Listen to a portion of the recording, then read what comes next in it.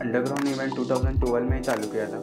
और जब मैंने मीरा रोड में रखा था, इसलिए रखा था क्योंकि इधर के ब्रेकर लोग सिर्फ़ प्रैक्टिस कर रहे थे और ना ही कोई जैम पे बाहर निकल रहे थे या उन लोग को प्रॉपर कल्चर के बारे में मालूम ही नहीं था कि एक्चुअल में कल्चर क्या है।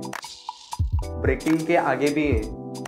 तो इसलिए अंडरग्राउंड इवेंट मैंने ऑर्गेनाइज किया क्योंकि लोग इधर मिले हर जगह के और थोड़ा जैम करे साइफर जो भी चिल्ला आउट ये भी हम लोग स्कूल में ऑर्गेनाइज करते और हम लोग को कोई स्पॉन्सरशिप तो नहीं है। तो जो भी हम लोग के दोस्त लोग बी बॉय से हेल्प करते हैं हम लोग को स्पीकर वगैरह और जो भी है।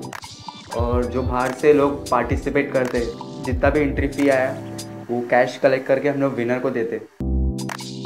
सबसे पहले तो हम लोग को वो जगह का परमिशन लेना पड़ता है। और जिस दिन इवेंट है, उस दिन तीन घंटा पहले पहुँचना पड़ता है हम लोग को। हॉल का साफ़ सफ़ाई वगैरह करने के लिए।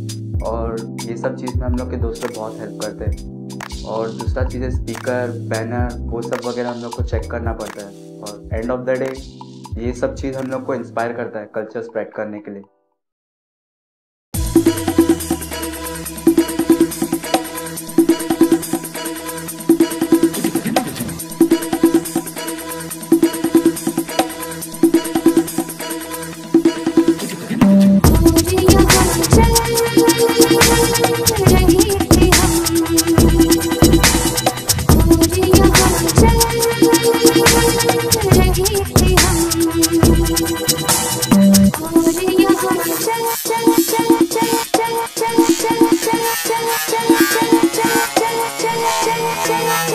Jenna, Jenna, Jenna, Jenna, Jenna, Jenna, Jenna, Jenna, Jenna, Jenna,